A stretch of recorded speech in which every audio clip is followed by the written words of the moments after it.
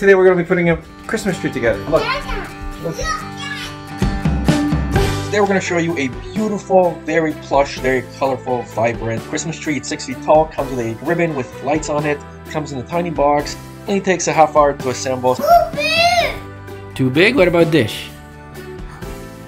It barely sheds. If you are considering a new tree for this holiday season, stay tuned for the whole video. Six foot tree in a box. So let's open this up. Woo! So three parts. One, two, put it there. We've got this, we've got this, and then instructions. Hmm, how do we know which one's which? We take this part and... Too big. Too big? Uh-huh. How about this? Is this good?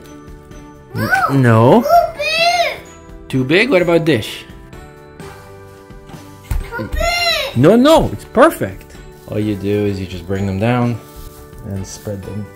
These are never going to come out, so you don't have to worry about that. Section A done. Section B. Part B gets screwed in. So if you think that it's not gonna fit, just press it and then just tighten it up.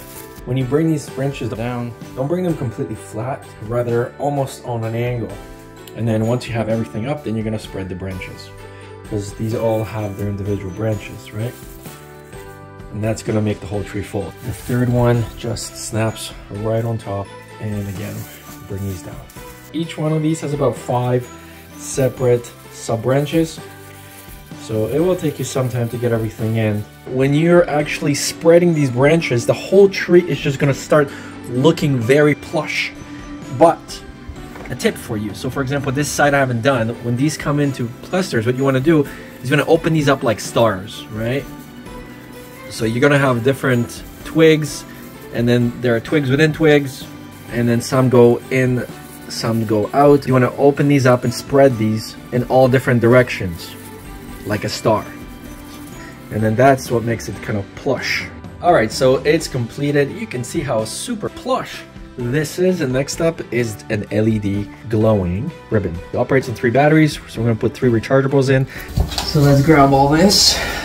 So let's start working this ribbon all the way around.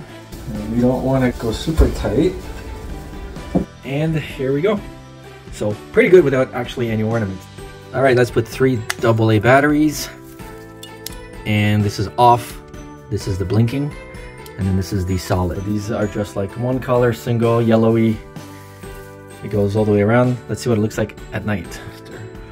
So the lights definitely give off a really nice subtle glow. It's perfect for the evening, I would say.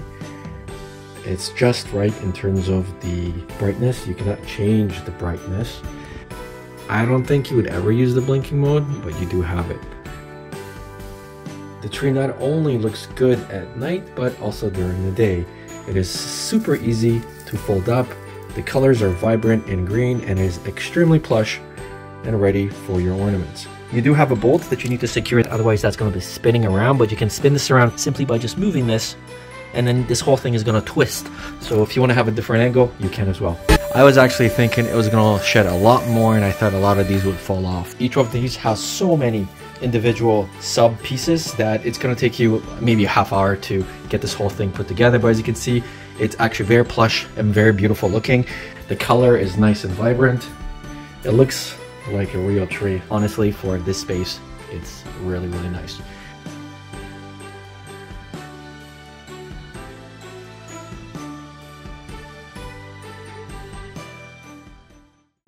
Hey Google, turn on white room lights. Don't put that in.